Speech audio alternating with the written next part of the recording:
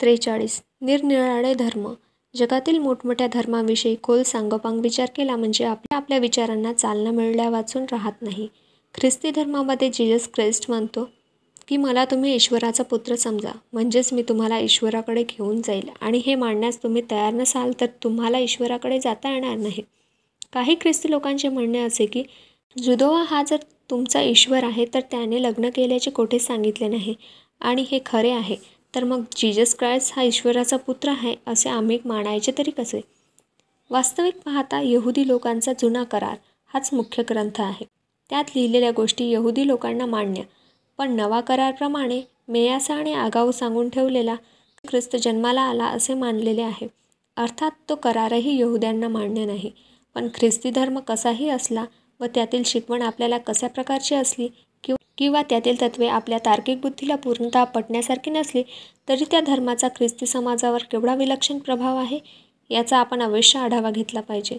ख्रिस्ती धर्माचा पगडा ख्रिस्ती समाजाच्या नैतिक आचरणावर किती किती विलक्षण तऱ्हेने बसलेला आढळून येतो ते तुम्हाला किंग आठव्या एडवर्डची गोष्ट सांगतो म्हणजे तुम्हाला माझे म्हणणे पटेल. त्या राजाला आपले सिंहासन सोडावे लागले याचे खरे कारण काय झाले असेल याची तुम्हाला कल्पना आहे?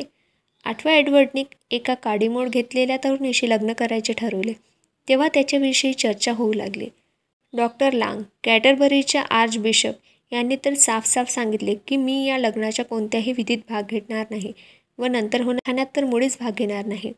पहिल्या पहिल्याने इंग्लंडचे त्यावेळचे मुख्यप्रधान स्टॅनले बॉल्डविन यांनी या गोष्टीत फारसे मन घातले नाही कारण त्यांना कॅटनबरीच्या आर्चबिशपने घातलेल्या धाकाचे फारसे महत्त्व वाटले नसावे. पण पुढे जेव्हा या आर्चबिशपने आपल्या हाताखालील एका बिशपकडून चर्चमध्ये धार्मिक प्रवचन घेत असताना उघडपणे या भावी लग्नाच्या विरुद्ध जोराचा प्रचार चालवला तेव्हा मात्र साऱ्या ब्रिटिश पत्रकारांना या अनिष्ट गोष्टीकडे उघडपणे डोळेझाक करता येणे अशक्य झाले आणि वर्तमानपत्रे उघडपणे हल्ला चढवू लागल्याबरोबर मुख्य प्रधानांना राजाची भेट घेऊनही त्याला राज्यत्याग करण्याचा सल्ला देण्याशिवाय गत्यंतर उरले नाही. मुख्य प्रधान म्हणाले तुम्ही योजलेल्या स्त्रीशी तुम्ही लग्न करायचे आहे ना? सारी ख्रिश्चन ब्रिटिश जनता त्याच्या विरुद्ध आहे हे तुम्हाला ठाऊक आहे. तुम्हाला ख्रिश्चन नैतिक नियमाच्या विरुद्ध वागायचे असेल तर राजत्याग करावा लागेल. ख्रिस्ती धर्माचा समाजावर व समाजाच्या नैतिक बंधनावर किती मोठा प्रभाव आहे हे आपल्याला नाही का दिसून येत? याच्या उलट हिंदू धर्माचा आपल्या समाजाच्या नैतिक बंधनावर किती पगडा आहे याचा तुम्ही खोल विचार करून पहा. आपले राजे रजवाडे वाटेल तसे वागवतात. त्याविरुद्ध हिंदू धर्म काय करू शकतो? उलट तुमचे शंकराचार्य ही नैतिक बंधने तोडण्यास मदत करतात. याला काय म्हणावे? मला समजत नाही. आता आपण मुसलमान धर्माविषयी विचार करू. महम्मद पैगंबरांची शिकवण अशी आहे की मीच ईश्वराचा एकमेव प्रेषित असून मीच पहिला व अखेरचा आहे. हे आधी तुम्हाला कबूल केले पाहिजे. तरच मी तुमची ईश्वरापाशी रद्दबदली करू शकेन. अर्थात हे मानण्यास लोक तयार होत नाही.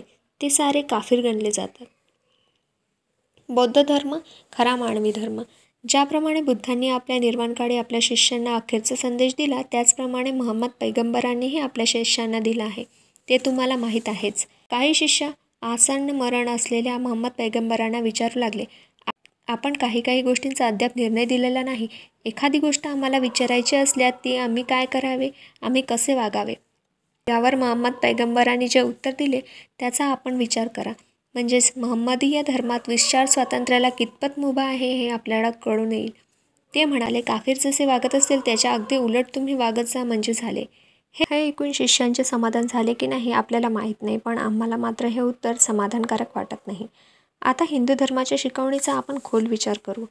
यदा यदा हि धर्मस्य ग्लानिर्भवती भारत अद्भुताना धर्मस्य तदन्मात सुजाम्य। म्हणजे धर्माची ग्लाणी झाली धर्म साफ बुडाला. अधर्माचे जर साम्राज्य माजले म्हणजे इतकी भयंकर परिस्थिती निर्माण झाल्यावर मग भगवान विष्णू अवतार घेऊन पुन्हा धर्माची स्थापना करणार. या गोष्टीवर विश्वास ठेवून आपण हात जोडून स्वस्थ बसणार की काय? इकडे नर करे नर करणी करे तो नर का नारायण हो जाय म्हणायचं. आणि त्याचवेळी नराच्या करणीला मुळीच वाव द्याय ठेवायचा नाही. सगळे नारायणच करेल असे म्हणायचे. याचा काय अर्थ? असल्या विसंगत विचारसरणीमुळे आपण कधीच कर्तव्य तत्पर होऊ शकत नाही. ईश्वरांच्या अवताराशिवाय स्वतः काही करताच येत नाही असे तुम्हाला वाटते. म्हणून तुम्ही किंकर्तव्य मूळ झाले आहेत. दुसरे काय?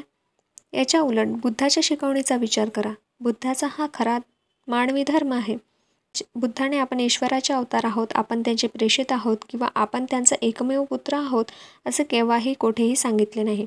म्हणूनच बुद्ध धर्म हा मानवी धर्म असून मानवाच्या संपूर्ण विकासासाठी तो निर्माण केला आहे असे आम्हाला वाटते. आणि तो आमच्यासारख्या आधुनिक व अद्ययावत असलेल्या प्रत्येक मनुष्याला चटकन पटू शकतो असे आहे.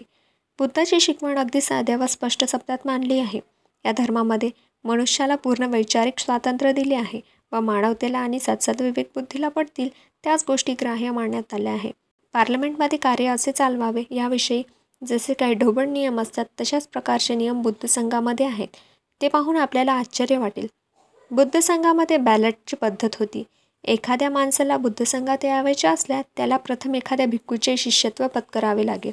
भिक्खू चालचालणुकीवर अगदी बारकाईने लक्ष ठेवून त्याच्या लायकीविषयी तीन वर्ष आपली खात्री करून घे. अशी खात्री झाली म्हणजे त्याच्या शिफारसीवर या उमेदवाराचे नाव संघात घेण्यात येईल. पुढे त्याच्या उमेदवारीबद्दल गुप्त मतमोजणी करण्यात येईल.